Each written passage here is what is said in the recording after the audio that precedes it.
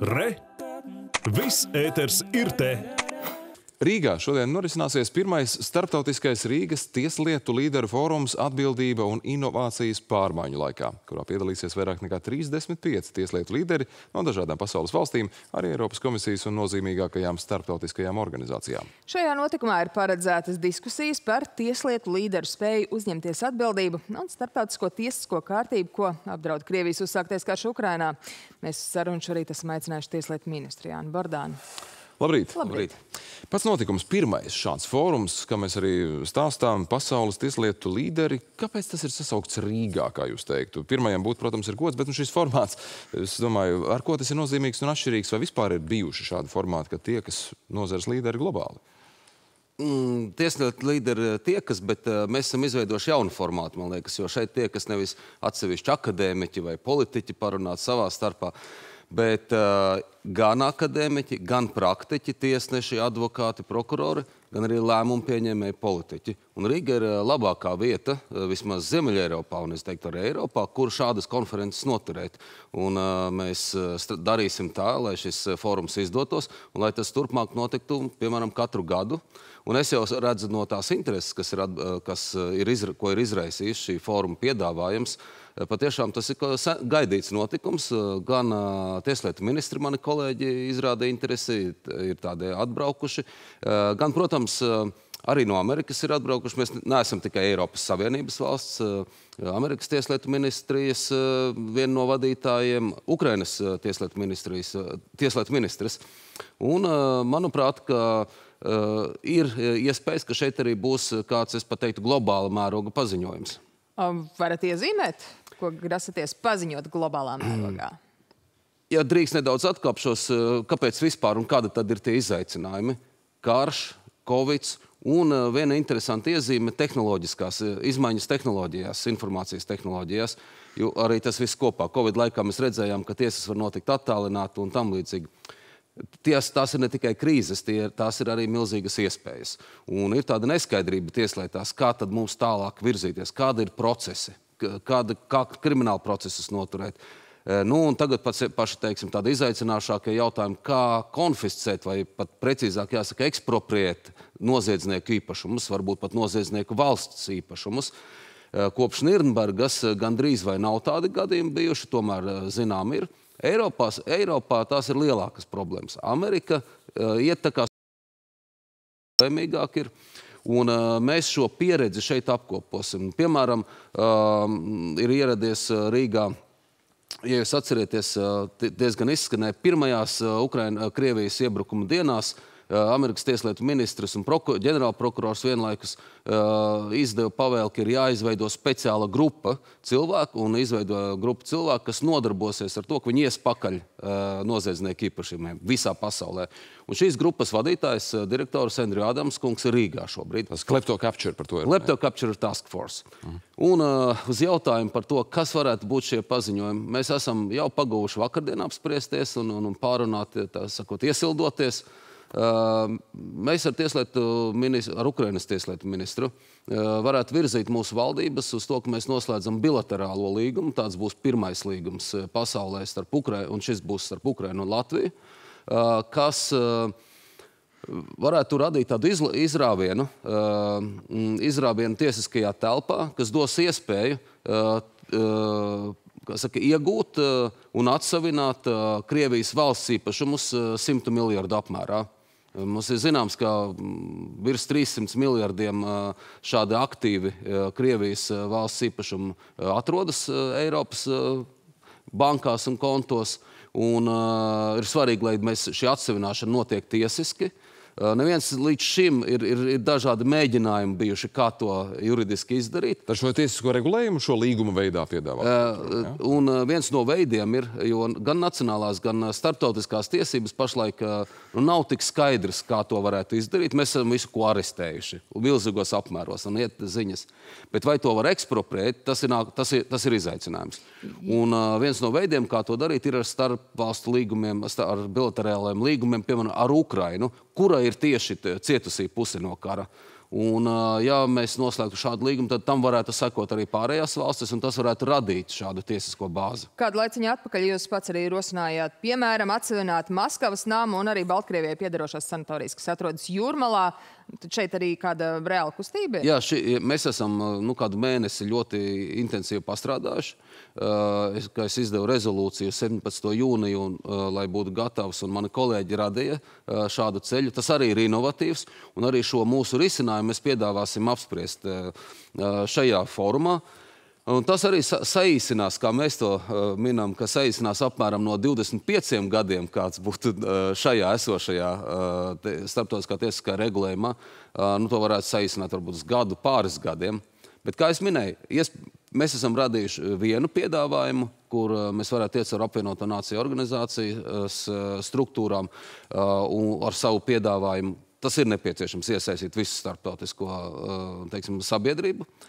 Bet uh, iespējams, ka mēs eh, šodienas diskusijās tieši radīsim kaut ko unikālu, ņemot vērā, ka šeit ir nu, faktiski iš, iz, tā, tādu izšķirošu valstu pārstāvji - Ukrainas, uh, Amerikas Savienoto Valstu, Eiropas, Savien, Eiropas Savienības tieslietu ministri. Ne tikai es, piemēram, ir Horvātijas tieslietu ministrs, un viņam arī atcerieties, pavisam nesen ir bijis reāls karš, ir bijis tribunāls attiecībā uz šo jautājumu. Tas varētu būt Balkāni, varētu būt tiešām arī viens no šiem stāstiem. Savukārt, ja mēs runājam tiešām par šiem kara noziegumiem, kas aktuāli notiek un joprojām turpina notikt, diemžēl Krievijai turpinot savu agresiju Ukrainā, tad uh, šo noziegumu izmeklēšana, tas ir jautājums, kas ir dažādos rakursos cilāts par to, kā vispār pirmā līmeņa, augstāka līmeņa pierādījumus vākt, iegramatot, kā vispār uz tiesu kādu piedabūt, ja arī tiek pierādīta viņa vaina. Jūs pats arī viesojaties Ukrainā aprīlī, lai šos jautājumus pārunātu gan ar tieslietu ministru, gan ģenerālprokuroru. Kādi šo noziegumu izmeklēšanā jau pašlaik ir tie nu, risinājumi soļi, ko arī Latvija šeit piedāvā un kas, kā tas notiek? Nu, te ir, ziniet, Ukraina pati par sevi valsts ir eh, pietiekami jaudīga, un viņi veic noziegumu mm, atkla, tātad, nu, konstatēšanu. Viss tā kā noziegumos notiek. Ja viņam šie noziegumi jau ir desmitos tūkstošu krimināllietas ir ierosinātas. Un daudzās valstīs arī nacionālās atsevišķas savus procesus. Jā, mēs patiešām arī citās valstīs, arī, arī Latvijā ir uzsākts krimināla process, un tā ietvaros mēs varam nopratināt lieciniekus, atrast iespējamos, um, iespējamās nu, faktus šos. Bet, Protams, tas nākošais jautājums. arī liecinieki. Nu, tā tīri praktiski, jo cilvēkiem ir interesanti. Nu, kāda Jā, tie... tā izmeklēšana notiek? Ja tas ir Ukrainā, tad nu, mēs jau redzam, ka tur jau ir arī pat uh, notiesātie. Un, uh, tas, protams, ka šis viss ne, ir mēs runājam tieši par Latvijas iestādi. Jā, Latvija, Latvijā notiek, uh, nu, tā kā mums ir izziņots visiem Latvijā ierodošamies uh, Ukraiņu uh, cilvēkiem, tie ir bēgļi, tie ir cilvēki, kas kaut kā savādāk ierodās. Uh, aicinājums ziņot, mēs ļoti intensīvi informējam, lai, lai viņi būtu zināmi. Viņu sociālos tīklos arī mēs ievietojam šos paziņojumus, un, un arī šobrīd es televīzijā varu to pateikt. Un tiek aicināts cilvēks sniegt liecības. Uh, Ir snieguši? Nu, uh, ir snieguši liecības. Daudz? Ar to nodarbojas valsts drošības dienests. Viņi man tā kā arī neatklāja īpaši informāciju. Varētu jūs, starp citu, viņus uzaicināt, viņi drošāk varētu pateikt, ko viņi var teikt. Un es domāju, ka labprāt tas to viņi valsts varētu arī izdarīt. Dienests. Jā, tas ir viņu kompetence, un varbūt arī prokuratūra, bet, bet pārsvarā tā ir, poli faktiski tā ir policija. Uh, nedomāju, ka Latvijā būs nu, ļoti daudz. Ir iespējams viss, kas ir Jo, jo šeit nu, dažādos posmos ieradās cilvēki. Gan pirmajās dienās, kad uh, paguva ģimenes uh, nu, tikt projām no Ukrainas, un tad viņi nebija varbūt atsliecinieki tam. Bet arī šobrīd ierodas no, gan no Mariupoles, gan no Harkovas uh, dažādi šie. Svarīgi ir, ka uh, mēs piefiksējam šos noziegumus. Bet, protams, ka jāsaprot, ka uh, notiesāt varēs tad, kad būs uh, Krievija uzvarēta un kad uh, paši galvenie vainīgie būs, kas sakot, ar sasietām rokām uh, ievietoti attiecīgās ieslodzījuma vietās un, uh, un atbilstoši arī varēs ar viņiem strādāt. Bet tam ir, nu, ta, tam ir milzīgs darbs jāpaveic visai sabiedrībai. Nu, tad noteikti ir jautājums par to, kā mēs eh, šos kara noziegumus izmeklējot vai rosinot viņu izmeklēšanu, varam pietuvināt kara beigas. Vai ar to mēs to varam, vai tas ir pilnīgi atsevišķs stāsts, kas ir eh, tiešām militāri un. un, un protams, tas ir, ka, protams, tas ir kara darbības jautājums, tas ir eh, visas nu, teiksim, civilizētās pasaules iesaistīšanās ar atbalstu. Bet mēs varam to tuvināt arī, un ko mēs darīsim šodien, fórumā. Tas ir meklēsim arī tiesiskos līdzekļus, kā nu, pamudināt izbeigt šo karu arī ar finansiāliem uh, un juridiskiem rakstura pasākumiem.